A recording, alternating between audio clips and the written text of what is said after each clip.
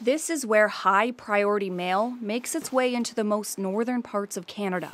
These planes normally fly into Yellowknife filled with Canada Post letters and parcels. Not anymore.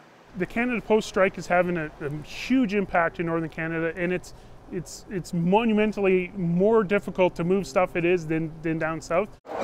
This is a major and complicated operation. From Yellowknife, small passenger planes transport mail to communities in the Northwest Territories. Some of those places, only Canada Post will go.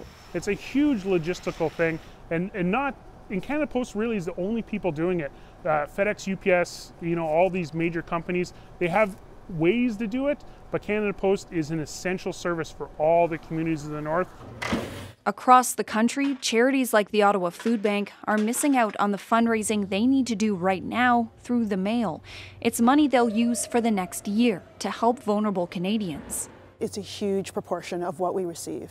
Most donations come in over the holidays. The food bank still collects millions of dollars by mailing out requests for support. Even if they are not giving directly through the mail, often the mail that they receive prompts them to go online and make a donation.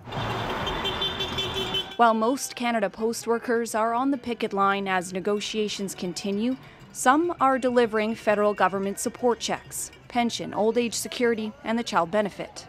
We make sure, which is something that CUPW and Canada Post has agreed on, and we're happy to do it because we have to do it, is deliver their mail. So they will receive definitely their welfare. But many other government support programs are not part of this agreement. So the provinces and territories have made arrangements for people to go to government offices to pick up their checks. Marina von Stackelberg, CBC News, Ottawa.